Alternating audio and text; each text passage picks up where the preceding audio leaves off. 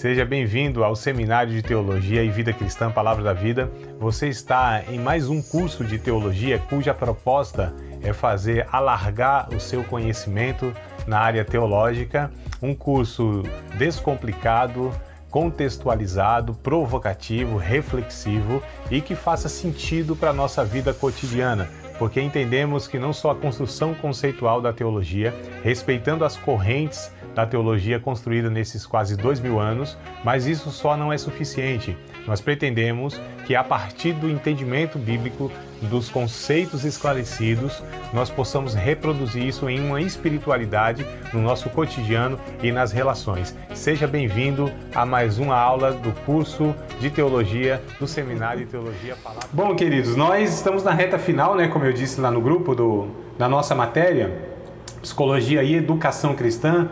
Hoje, na verdade, é a sétima aula né, dessa matéria aqui. Mãe Holanda, fica à vontade, tá bom? Para estar tá participando, interagindo, perguntando, fazendo comentários. Tá? É, a, esse, essa modalidade aqui né, de sala virtual justamente é para que vocês interajam, para que a gente tenha essa liberdade de construir juntos. Né? Então, como a gente tem pontuado, o professor não é o único que sabe, não é o que sabe mais. É, enfim, a gente só está aqui para direcionar, propor algumas reflexões, mas vocês aí devem, podem e interajam, tá? Para a gente construir juntos aí um, né, um conteúdo que seja relevante, seja bom para nós, né? Nós víamos falando então sobre a educação cristã, né? Psicologia e educação cristã, a importância disso na nossa formação como comunidade de fé, né? Como corpo de Cristo, como pessoas que estão caminhando juntas, né? E é, procurando de fato a cada dia mais ser mais parecidos com Cristo. A finalidade última do Evangelho é nos formar, né, gerar em nós o caráter cristão, que nós pareçamos cada vez mais com o nosso Senhor e o Salvador Jesus Cristo. Ele é a referência última, aliás, ele não é a última, ele é a primeira e a última, né? Ele é o alfa e o ômega, o princípio e o fim. Tudo começa em Cristo e acaba nele, né? Dele, por ele, para ele são todas as coisas. Então, assim, o Evangelho não pretende pegar lá um ser humano caído, destruído nos pecados e fazer dele tão espiritual que ele chegue a ser parecido com o ser celestial, com o anjo. Não, não é essa a ideia. A ideia é pegar esse ser humano, regenerá-lo, né? recriá-lo, como diz segundo aos Coríntios 5,17, né? os que estão em Cristo é nova criação, né? As coisas velhas se passaram e tudo agora vai se fazendo novo. Então pegar esse homem, né, que estava lá desfigurado moralmente, eticamente, espiritualmente, enfim, estava lá um trapo humano, como diz o Isaías, né, dizendo que o homem religioso, mesmo buscando as boas obras, essas boas obras diante de Deus, ele quer, né, se justificar, mas são como trapos de imundícia. Então o ser humano não tem como se salvar, não há como ele estar de fato fazendo a vontade de Deus. É necessário intervenção divina, um novo nascimento. A partir disso, né? Porque alguns pensam que a salvação é tudo no sentido de alcançar a pessoa e libertá-la do poder do pecado. Isso não é tudo. Isso é o princípio das coisas, tá? Porque após isso segue-se a santificação, o amadurecimento cristão, que é o que nós estamos falando, né? Nessas aulas é, até aqui a importância do discipulado, da pessoa ser moldada, mudada, transformada à imagem e semelhança do Cristo. Então, ser humano que foi resgatado pelo Evangelho, ele pelo Evangelho está, deve, né? Ele deve ter esse processo a ser levado cada vez mais neles a ser construído o Cristo. Então, irmãos, o nosso nosso propósito de vida é se tornar parecido com Jesus, o Cristo. Jesus lá, né, das páginas da Bíblia lá, aquele que apareceu e fazendo tudo que fez, ensinando tudo que ensinou, ou seja, o ser humano, referência máxima, última, perfeita e única que nós temos para seguir. Tem homens, nós falamos aqui de obreiros, pessoas que nos inspiram, mas essas pessoas nem de longe, para nós, né, chega perto do Cristo, porque Cristo para nós é de fato a referência perfeita. Outras pessoas que imitam Cristo nos inspiram, como Paulo disse, né, me imite porque eu imito Cristo, eu imito Deus. Então a gente precisa é, diferenciar bem essas questões, senão a gente cai muito em idolatrias humanas ou nós nos apegamos a pessoas que são da mesma massa do que a nossa, né? O Tiago vai dizendo, é, Elias, quem era Elias? Um homem poderoso, né? O profeta que os pentecostais gostam, que manda fogo e o fogo desce mesmo, né? Então Elias, um homem assim que fez coisas extraordinárias. Mas o Tiago vai dizer, homem sujeito às mesmas paixões que nós, homem comum, né? Homem ordinário, que é o que eu sempre uso essa palavra aqui, né? Os irmãos ficam meio escandalizados, ordinário, mas é da mesma ordem, né? Esse é o sentido, né? Então não tem diferença. O, o Davi, o, o Paulo, Pedro, Elias, todos homens falhos como nós, da mesma forma. Agora o Cristo não. Jesus é, é aquele que nós temos a referência do ser humano como o ser humano deveria ser. Então quem é Jesus? Deus como era e o ser humano como deveria ser. Há uns dois paradigmas em Cristo, né? O divino e o humano. E nós, divino, nunca chegaremos, é impossível isso, mas no humano Jesus é isso que nós perseguimos, sermos parecidos com Cristo, o caráter de Cristo. E é isso que a gente tem trabalhado aqui, né? Só que nós temos abordado sobre essa realidade e como nós fazemos isso na nossa realidade, na nossa geração, com os desafios que nós temos, esse discipulado, inclusive, que se dá pelo virtual, pelo digital, né? pelas redes sociais, enfim, que extrapola o púlpito, que não é só na igreja, domingão, pregação, nas relações, é o que a gente tem falado, né? O discipulado nas relações, influenciando, ensinando pelo exemplo. Nós falamos os métodos também. Eu estou dando aqui um resumão, né? Aquele aula resumão aqui no começo, só para a gente ver se a gente não esqueceu muita coisa, se a gente consegue estar tá, é, de fato é, absorvendo tudo isso para que a gente tenha claro o que é a educação cristã. E aí hoje eu quero falar com vocês aqui nesses 40 minutos que nos restam, é, por meio de que nós educamos. Então nós falamos aqui, ó, quem nós educamos, quem educa, ou desculpa, quem educa, não quem nós educamos, né? Quem é a pessoa que educa? Os pais e os professores, né? Como se educa? A pedagogia que se usa, a didática que nós temos, né? E aí nós falamos pelo exemplo, pela instrução. É, a quem educa? Aí sim, quem são as pessoas que nós educamos, né? Na igreja, as crianças, os novos convertidos, noivos, casais.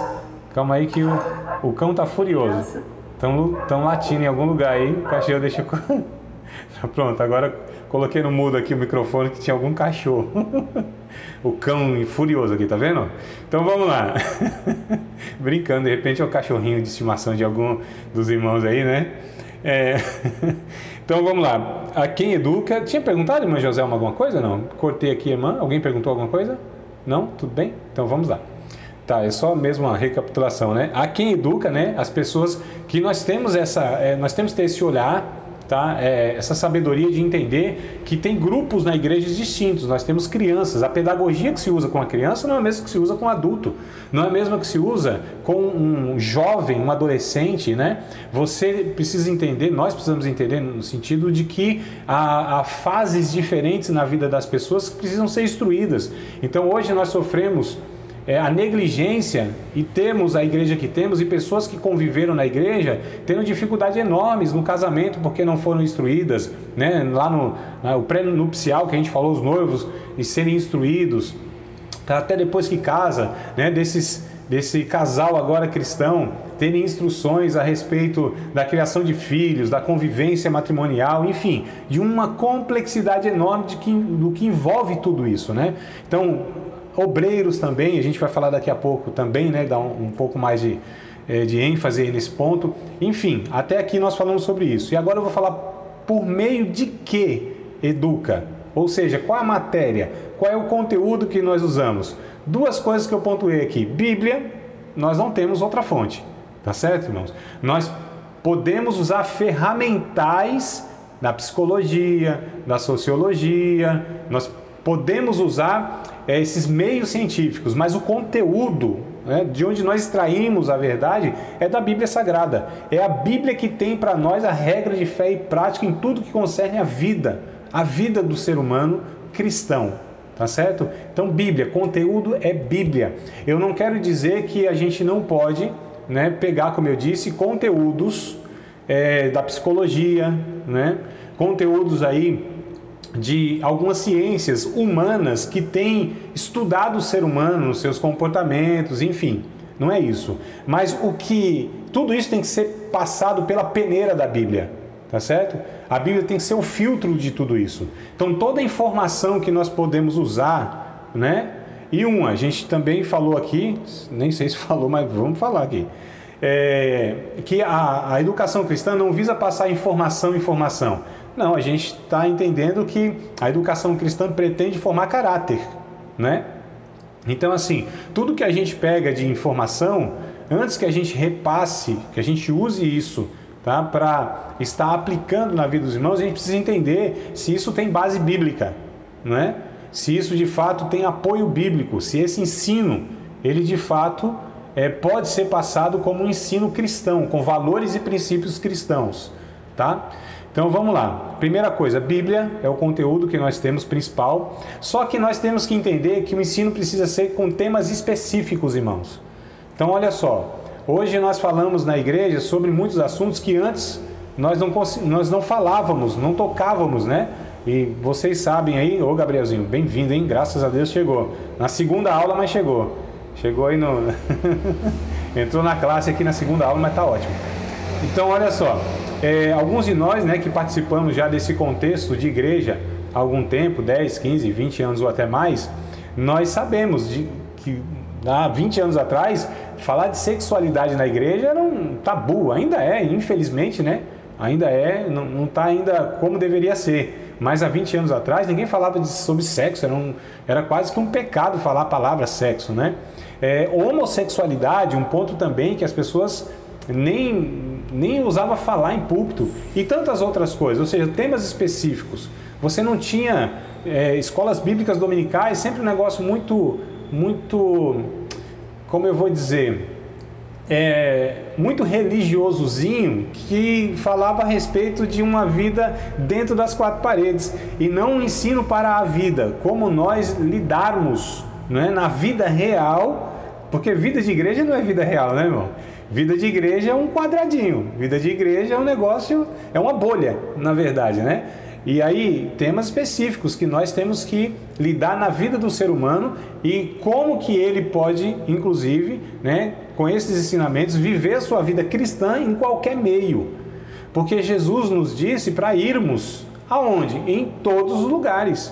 Convivemos, Paulo vai dizer em 1 Coríntios capítulo 5, que não é que nós cristãos não devemos nos relacionar né, com os ímpios. Ele disse para a gente não se relacionar com aqueles que, dizendo-se irmãos, te, tendo uma vida totalmente desregrada, aí sim, só lá 1 Coríntios capítulo 5, a gente lê isso, isso é claro lá. Né? Relacionamento que eu digo, não cumplicidade de pecados, não ser conivente com nenhuma prática errada. Eu estou dizendo de contato, irmão. A gente não vai num açougue onde só tem cristão, né? Então, sei lá, açougue Eu Shaddai, não tem. Tem uns açougues que de repente não é de cristão, a padaria, né? O maná, não tem. Então a padaria às vezes lá não é de um cristão, o açougue não é. Né? Mercado, nem sei o nome aqui de mercado que poderia ser cristão, que os crentes põem tudo quanto é comércio os nomes assim, né? Um negócio interessante. É.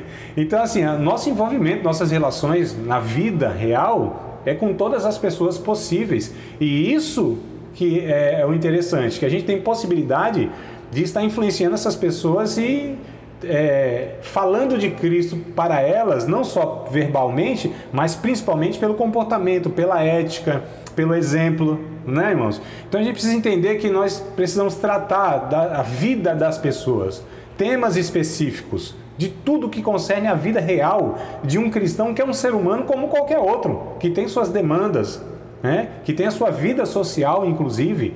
Só que nós somos pessoas que vivem, né, devem viver por princípios e valores bíblicos. É isso que é o diferencia, é o que diferencia um cristão de um não cristão. Nós acreditamos na Bíblia, nós acreditamos nos ensinos de Jesus. Isso que vai diferenciar, mas irmãos, nós temos aí a nossa vida social e devemos ter como qualquer outro, né? Então temas específicos, tá? Por meio de que se educa conteúdo Bíblia, né? Conteúdo no sentido assim de referência, de filtro. A Bíblia nós usamos como critério para todos os outros ou outras informações que nós absorvemos para repassar. Então a Bíblia que faz e deve fazer essa peneira aí, tá? Para que se educa? Qual é o objetivo? Qual é o propósito da educação? Como eu disse, o fim último da educação cristã é formar o caráter de Cristo em cada um. Não é passar informações, informações, informações né? Por exemplo, o nosso curso de teologia, o que, que ele difere de qualquer outro curso de, sei lá, uma, é, uma profissão aí que se forma? Porque qualquer profissão vai passar as teorias, né? A ciência tal, daquilo tudo, enfim, para habilitar a pessoa a exercer a sua profissão lá. Teórica e prática, na experiência, vai adquirindo.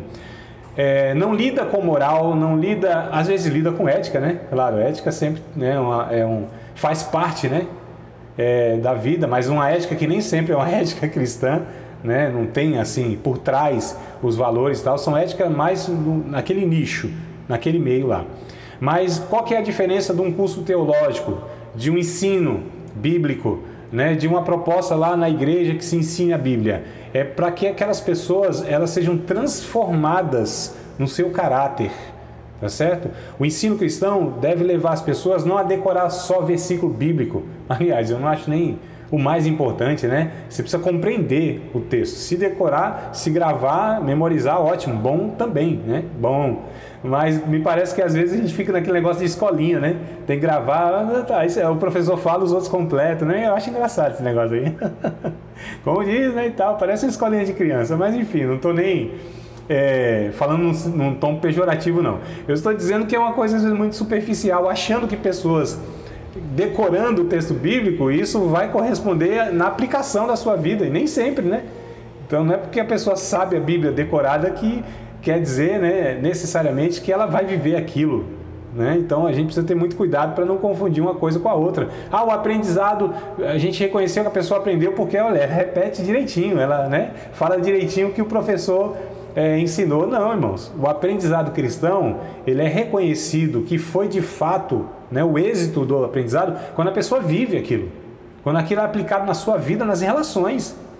Aí sim, você falou, opa, aí aprendeu. Ó. Ah, mas não sabe nem o texto. Não, não tem, aprendeu, ó, aprendeu. Olha a natureza. Olha o fruto, olha o resultado, olha o comportamento. E a gente vai dizer aqui que não é apenas o comportamento em si, tá? É, mas a questão é que não fica na superficialidade. Não é passar informação bíblica apenas, não é falar só de conceitos teológicos, não é só fazer com que as pessoas decorem textos da Bíblia.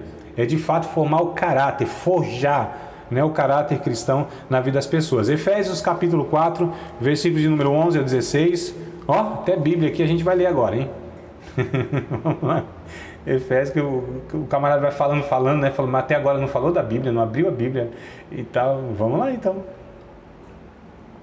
Para causar uma boa impressão para quem está chegando agora.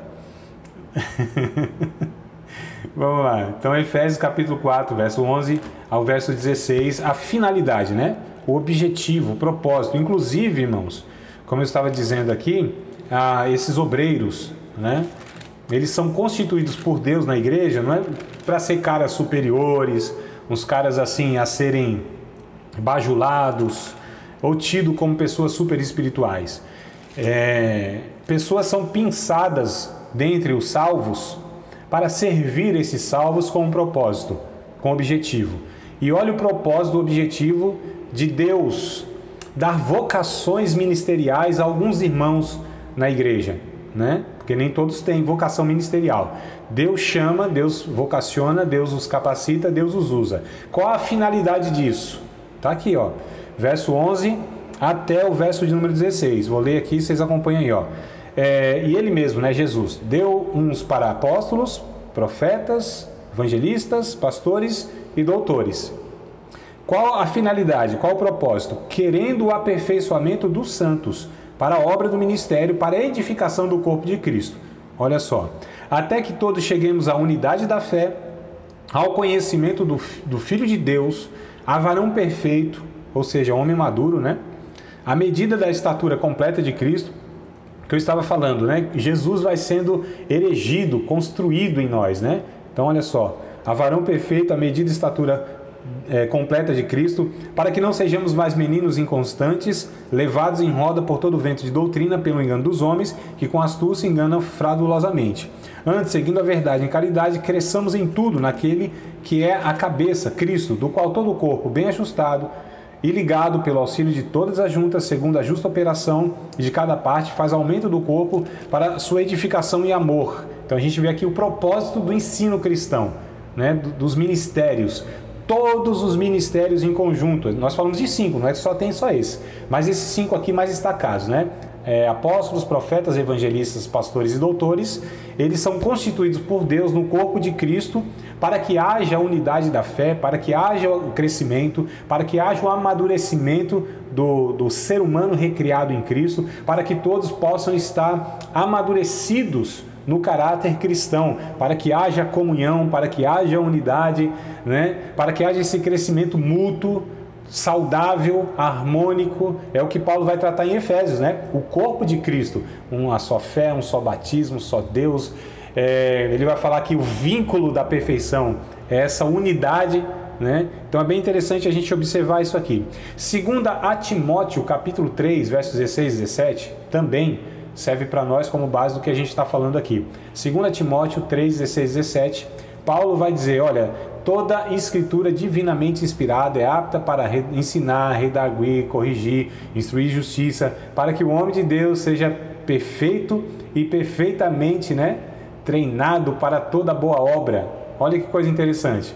Então, a finalidade última do ensino das Escrituras Sagradas é fazer com que nós, tá certo, pratiquemos o Evangelho de Jesus Cristo, os ensinos de Cristo, tá? 2 Timóteo 3, versos 16 e 17. Recitei mais ou menos aqui, talvez eu deixei escapulir uma outra palavra aí, mas depois vocês conferem, tá? Então vamos lá, irmãos. Olha que coisa interessante. Então, para que se educa? Qual o objetivo?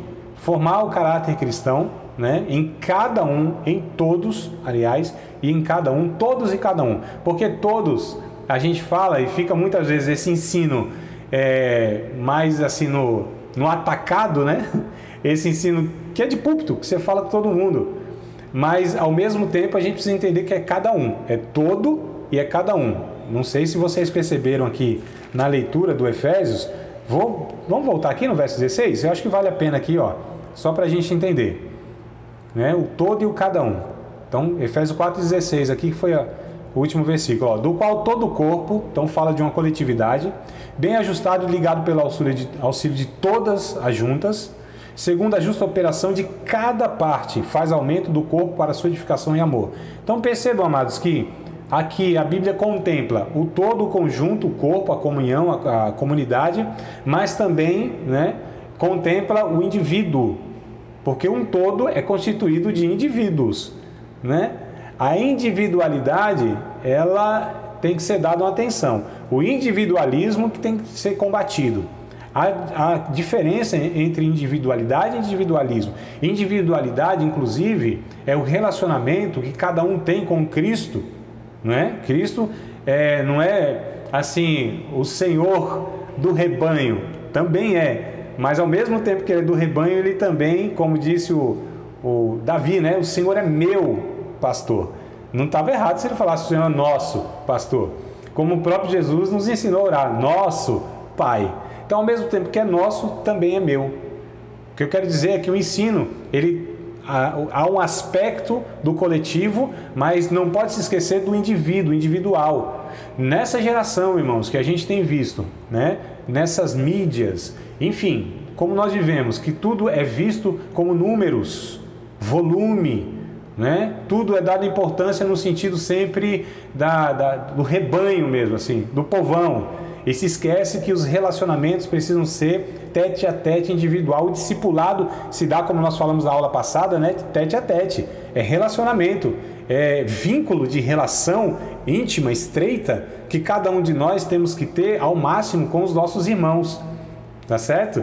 Né? É, é o vínculo mesmo de você caminhar junto, partilhar a vida. Não é só aquele momento litúrgico lá na igreja, uma hora e meia, duas horas de culto. Nesses relacionamentos superficiais que muitas vezes nós temos dentro de igreja, onde pessoas não se envolvem positivamente com a vida dos outros, né? Positivamente, porque a gente sabe que tem uns aí que né, se envolvem de uma maneira a prejudicar, são os intrometidos. A forma mais teológica refinada, os. os é... Ah, não, eu ia falar aqui uns termos aqui, mas acho que eu não vou, não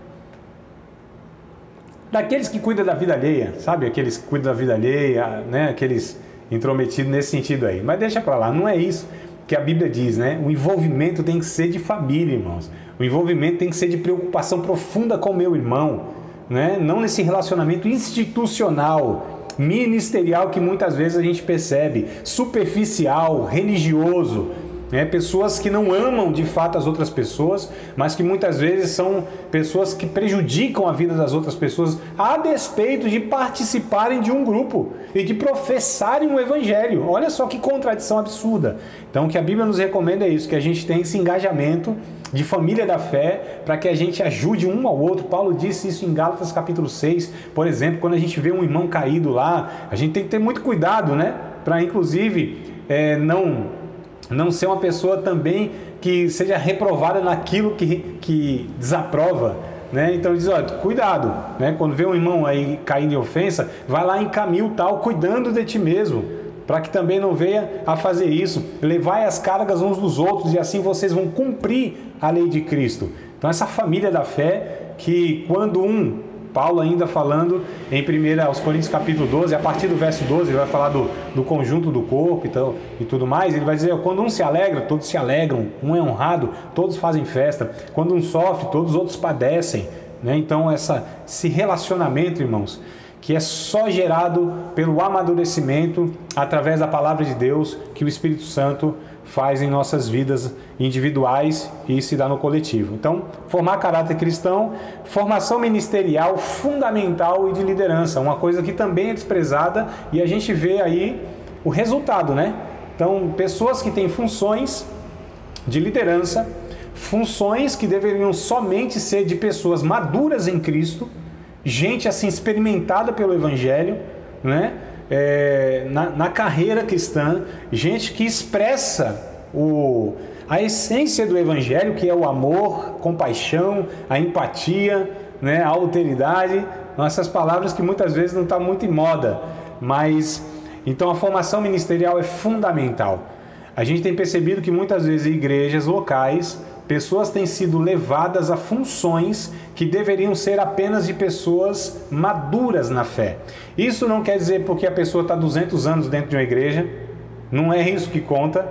Não é se a pessoa tem capacidades intelectuais e formações acadêmicas, não é isso que é levado em conta, tá certo? E, e sim o seu amadurecimento cristão, o seu relacionamento com Deus. Isso é o que é levado em conta, é o que Paulo diz em 1 Timóteo capítulo 3 Deseja o episcopado? Opa, excelente obra deseja. E aí tem esse episcopado como tudo que é liderança na igreja. Não, lógico, Paulo está falando lá do, mais do, do obreiro, no sentido do pastoreio, né? E até do diaconato e tal, enfim. Que na época, né? Era até os, os dois, as duas funções numa igreja local mais, mais basilares. Mas entenda que essa exigência, essas qualidades, essas virtudes são exigidas pela Bíblia, né, o Novo Testamento, a todo aquele que é um líder numa igreja local, tá certo? É a mesma exigência. Pessoas maduras, gente hospitaleira, gente equilibrada, gente que dá bom testemunho, gente que também tem né, dentro da sua casa a admiração e o respeito, e não só fora. Enfim, a lista lá tem um bocado de coisinha lá que né, muitos de vocês já leram, já sabem, e mas quiserem recorrer o texto lá de novo, depois vai lá. Primeiro, uh, Timóteo capítulo 3, acho que até o verso 16, alguma coisa assim, se não me falha a memória, tá?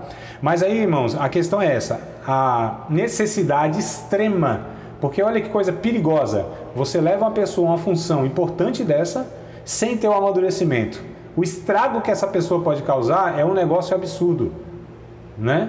Então, absurdo. Uma pessoa imatura, uma pessoa que muitas vezes influencia outras pessoas, uma pessoa que chega ao pastorado, por exemplo, ou tem o um microfone na, na, na, sua mão lá, né, na igreja, e aí ensina, passa um bocado de coisa que nem sempre condiz com o evangelho. Tá? Essa pessoa ela precisa ser levada mesmo ao amadurecimento antes que seja dada a ela essa função. Então, formação ministerial e liderança é fundamental também essa atenção a ser dada, né? Por isso que a gente fala que a educação cristã ela é o meio que pode amenizar todo o estrago que a gente percebe que é feito nos movimentos evangélicos no nosso país, que a gente tem percebido, tá?